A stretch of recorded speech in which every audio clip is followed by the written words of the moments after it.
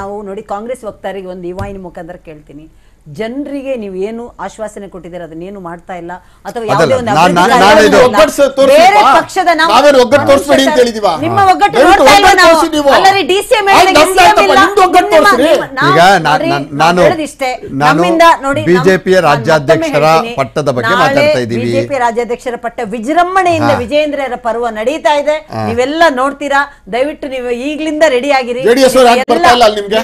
ಯಾಕೆ? ಜೆಡಿಎಸ್ ಅವರು ಹೋಗಿದ ಕಡೆ ಎಲ್ಲ ಅವ್ರು ಬಾವುಟ ಆಗ್ಲಿ ಅವ್ರ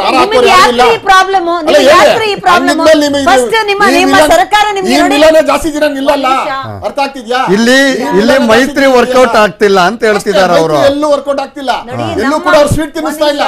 ಇಲ್ಲ ಇವ್ರ ಜೆಡಿಎಸ್ ಎಲ್ಲಿ ದೊಡ್ಡ ದೊಡ್ಡ ನಾಯಕರುಗಳು ಬಿಟ್ರೆ ಅಲ್ಲಿ ಯಾರು ಇಲ್ಲ. ಗೊತ್ತಾಯ್ತಾ? ಇನ್ನು ಯಾರನ್ನು ಮೀಟ್ ಮಾಡಿಲ್ಲ. ಎಲ್ಲಾ ನಗರಗಳಲ್ಲಿ ಹೋಗ್ತಾರೆ ಅಂತ ಇದ್ರೆ ಎಲ್ಲೂ ಕೂಡ ಜೆಡಿಎಸ್ ಅವರು ಬಂದು ಸರ್ ನಾವು ಕಾಂಗ್ರೆಸ್ ವಕ್ತಾರರಿಗೆ ಮಾನ್ಯ ದೇವೇಗೌಡರನ್ನು ಹೋಗಿ ಮೀಟ್ ಮಾಡಿ ಬಂದಿರೋದು ಮೋಸ್ಟ್ಲಿ ಅವ್ರ ನ್ಯೂಸ್ ನೋಡಿಲ್ಲ ಅಂತ ಅನ್ಸುತ್ತೆ. ನೋಡ್ರಿ ಅವ್ರ ಅವರು ಹೇಳ್ತಾ ಇರೋದು ವಿಜೇಂದ್ರ ಅವರಿಗೆ ಸ್ವಾಗತ ಕೋರಕ್ ಜೆ ಡಿ ಎಸ್ ನವ್ರು ಯಾಕೆ ಬರ್ತಿಲ್ಲ? ಅವ್ರಿಗೆ ಇಷ್ಟ ಇಲ್ವಾ ಅಂತ ದಯವಿಟ್ಟು ಈಗ ಮೂರು ಈಗ ತಾನೇ ನಾಳೆ ವಿಜೇಂದ್ರ ಅವರ ಪಟ್ಟಾಭಿಷೇಕ ಅಥವಾ ಅವರು ಅವರ ಒಂದು ಅಧಿಕಾರವನ್ನು ಸ್ವೀಕಾರ ಮಾಡಲಿದ್ದಾರೆ. ವೈಟ್ ಅಂಡ್ ವಾಚ್ ಏನಾಗ್ತಾ ಇದೆ? ಅರಮನೆಯಿಂದ ಯಾವ್ದೇ ಈಗಾಗಲೇ ಪಾರ್ಟಿಗೆ ಬಂದ್ಬಿಡ್ತು. ಅರಮನೆಯಲ್ಲಿ ನಾವು ಲಕ್ಷಾಂತರ ಜನ ಸೇರಿಸ್ತೀವಿ ಅಂದ್ರೆ ಯಾಕೋ ಕಾರ್ಯಕರ್ತರು ಹಿಂದೇಟ್ ಹಾಕಿದ್ದಾರೆ. ಇದು ಮೊದಲನೇ ಒಡತಾ. ವಿಜೇಂದ್ರ ಅವ್ರಿಗೆ ಅದೇನ ಮೊದಲ ನೀವು ಆಡಳಿತ ಪಕ್ಷದ ನೀವು- ವಕ್ತಾರ? ಜನಗಳಿಗೆ ನಿಮ್ಗೆ ಜನಗಳಿಗೆ ಹೇಳ್ತಾ ಇದ್ದೀನಿ. ಸರಿಯಾದಂತ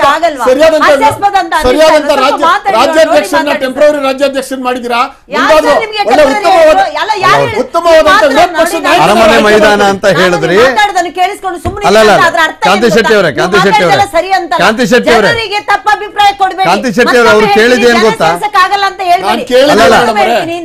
ಅರಮನೆಯಿಂದ ಆಫೀಸ್ ಆಫೀಸು ಬಂದಿದೆ ಅಂದ್ರೆ ಆಫೀಸ್ ಇಂದ ಆಫೀಸಿಂದ ಮನೆಗೆ ಬರುತ್ತೆ. ಅಷ್ಟೇ ರಾಜಕಾರಣ. ಅದು. ಆ, ಯಡಿಯೂರಪ್ಪ ಅವ್ರ ಮನೇಲಿ ಬರುತ್ತೆ ರಾಜಕಾರಣ. ಇವತ್ತು ಅರಮನೆಯಲ್ಲಿ ಮಾಡ್ಬೇಕಾಯ್ತು ಅರಮನೆ ಮೈದಾನ ಕ್ಯಾನ್ಸಲ್ ಆಯ್ತು. ಈಗ ನೆಕ್ಸ್ಟ್ ಪಾರ್ಟಿಲ್ ಬರುತ್ತೆ. ನಾಳೆ ಯಾರು. ಬರ್ತಾರೋ ಬರೋಲ್ಲ ಗೊತ್ತಿಲ್ಲ.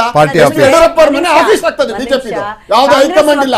ಯಡಿಯೂರಪ್ಪ ಇಸ್ ಹೈಕಮಾಂಡ್ ಅರ್ಥ ಆಗ್ತಿದ್ಯಾ? ಹಾಗಾಗಿ ಬೇರೆ ನಾಯಕರು ನೀವು ಅರ್ಥ ಮಾಡ್ಕೊಳ್ಳಿ. ನಿಮ್ ನೀವು ಇದ್ರಲ್ಲಿ ಇಷ್ಟೊಂದು ಮಾತಾಡುವಂತ ಅವಶ್ಯಕತೆ ಇದೆಯಾ? ಆಗಿದೆ, ಇದು ಐದು ದಿವಸಕ್ಕೆ ಬದಲಾವಣೆ ಆಗಿದೆ. ಆಂತರಿಕ ನೀವು ಸ್ವಲ್ಪ ನೀವು ಆಡಳಿತ ಪಕ್ಷದ ವಕ್ತಾರ ಇದ್ದೀರಾ ನೀವೇನ್ ಮಾತಾಡ್ತಿದ್ದೀರಾ?